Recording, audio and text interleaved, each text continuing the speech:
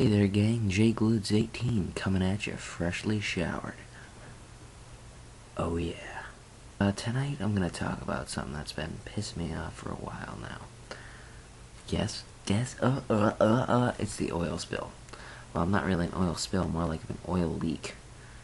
A massive oil leak at that. It's fucking dumping 5,000, 6,000 barrels a gallon of oil per day into the ocean, which is just retarded.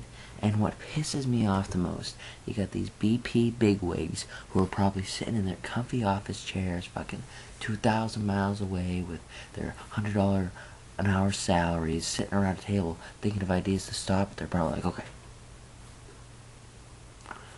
Now, guys, I know this oil spill has gotten a little out of hand.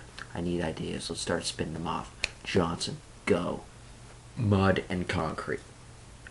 It's cheap and it probably won't work, but you know, it's best to have. Listen, you're a goddamn genius. That's what it's like. I mean, seriously, they got an infinite amount of, pretty much an infinite amount of money to spend, and they can't think of a solid idea to stop the fucking thing. Fucking send divers down. Send. We need the Coast Guard the Navy. Seriously, we could send those guys down and do something. But mud and mud and concrete. I know they stopped it because they like they stopped it to think of better ideas, but they couldn't think of better ideas in the first place. It's just our ocean's fucked. Our ocean is fucked. I feel bad for our ocean. I'm gonna be going to the beach this summer, crying. Yeah, I know.